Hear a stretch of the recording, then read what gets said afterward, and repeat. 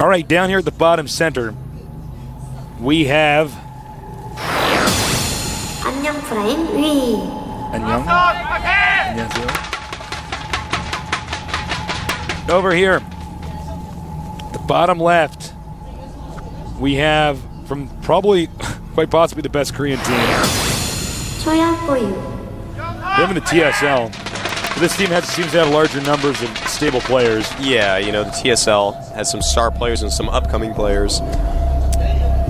But uh, it seems like FOU, they, we should be like, okay, they have a lot of upcoming players, but no, they actually just have a lot of up players. Like, none of them have really proven themselves yet, but that's because they just started, you know?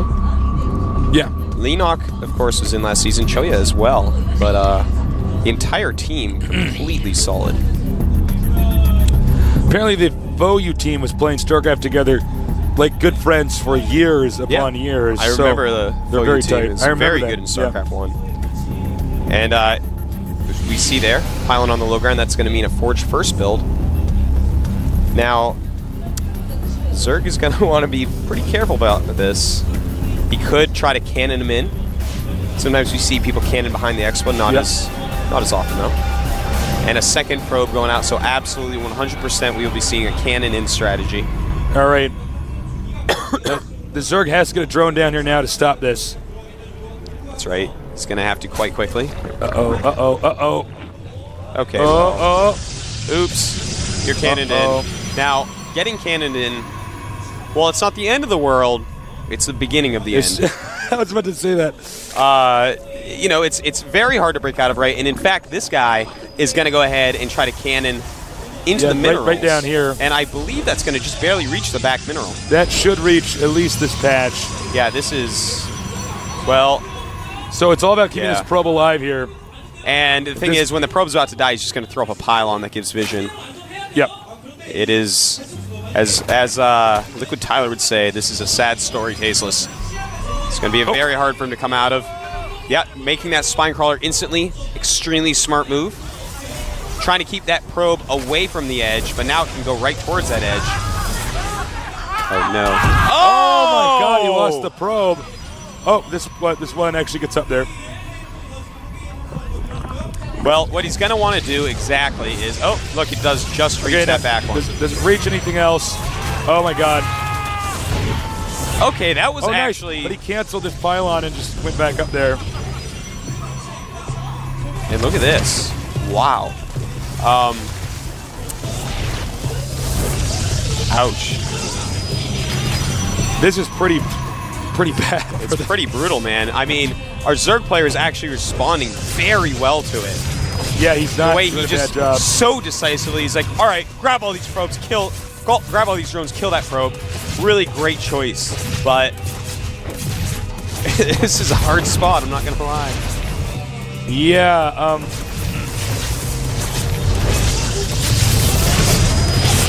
And Good now, movement of the spine crawler. Good use of the queen. oh, he's gonna do the queen. Oh! It's all right. That's going to clean it up and then kill the other cannon. And it does look like the spine crawler is going to be able to clean up absolutely everything. Really great work here by AnNyeong Prime. This is a, you know, Nice cancel there. Meanwhile, he's making roaches. But he can start making cannons. See, this is Oh, the problem. no. Oh, no. But you know what? The position of this pylon, he's got to be careful. The pylon is a little bit farther onto the front. smart move, bringing three drones over. Trapping that probe a little bit.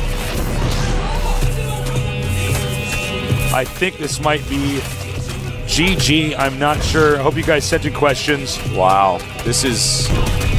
Thing is, AnNyeong is actually going so well right now. It's just. Know, he's going to pop out some roaches. We'll see if he can get something done with that. Going to kill this cannon with his drones. And here come the roaches. He's actually going to hold on, Tasteless. I think you're right. He is, yeah. Absolutely. He's going to get that spine crawler. though. Oh! Oh, Spine Crawler One lives. HP. That's actually kind of a big deal that it lives because it has really good range. Cannon is going to complete. This is actually pretty intense. He's got the queen. He micros the roach back, unfortunately. And he's going to hold on. Lots of probes here. Yeah. And notice he's starting to fall back. All right, here's my defensive cannons on the low ground. He's still getting uh, drone shots every once in a while. Yep. But, uh, wow, okay, we have to take a look at the unit counts right now. 19 drones against 27 probes, so he's behind on that. But he's going to go ahead, erase a bunch of these cannons out. Nice, just getting vision up there for a split second to soften up um, those ro- uh, roaches, forcing the probe in there with the pylon trick. Building a pylon here, squeezing them through. Now he's going to have to get a queen out, spread that creep out, use the spine crawler to probably bust out of there because at the bottom of his ramp, man, there are a couple more cannons, and they even have a pylon behind them. The meantime, he is expanding as we see, and as long as he doesn't get too greedy, uh, this is going to be really hard to counter. Oh, look at that. He actually is going to kill those pylons right away.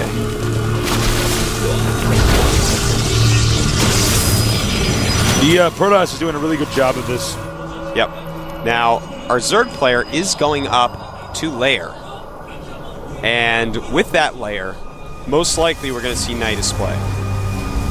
Because, well, that's really your chance to come back here. Get a Nidus in your opponent's base, get some roaches out, and you can absolutely come back. No doubt about that. Of course, Nidus is kind of the only option, so Yeah, so a wise Protoss player is going to be equipped uh, to deal with that. Yeah, he's going to be putting pylons around his base, have probes on patrol like we saw Guinea Pig do. That's what he's going to want to do. We'll see if he actually delivers. Three cannons, very tough to break. Yeah. Takes quite a few roaches to do that. And look at this, he's going to rush near. Oh, he even sees the lair. Oh, that So he is knows. heartbreaking. Poor AnNyeong. Poor AnNyeong. You think it'd be worth it for him to just try to run out? Run, Nope. run in there? I guess that wouldn't work out. Gotta should start throwing up Niduses.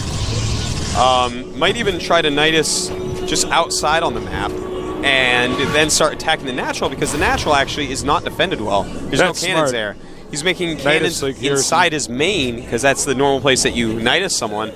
But you know, just Nidusing over there as a quick rally and uh, you know forcing the issue with that wall in could be a really great move. so sorry for coughing so much tonight. Shame on you, Artosis. I'm a bad person. You selfish bad guy. Uh-oh. Oops. Oh, no.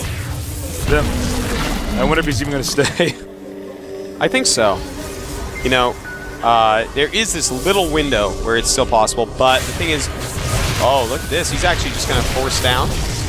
But Tasteless, we have a problem for our Zerg player. Uh-oh, it's called a Void Ray. Yes, Void Rays are going to be made. Great against roaches. Yeah, when you have just roaches and a queen at home, Void Ray is pretty deadly.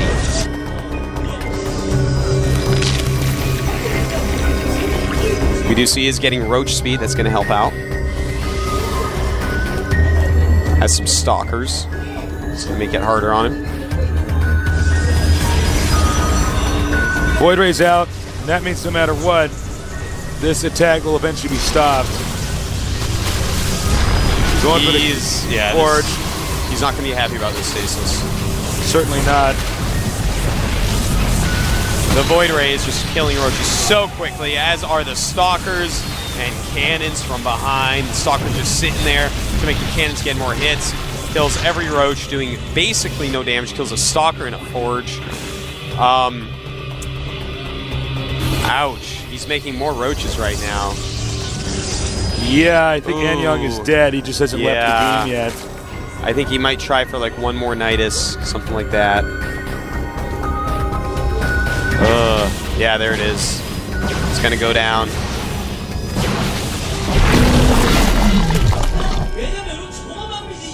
Oh, poor AnNyeong.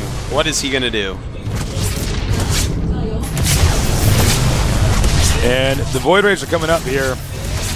Two queens. All Protoss has to do is make a few units and he can just go over there and kill him. Meanwhile, uh, Choya Foyu is actually just going to expand again. I mean, these Void Rays are not going to allow the Zerg to attack again.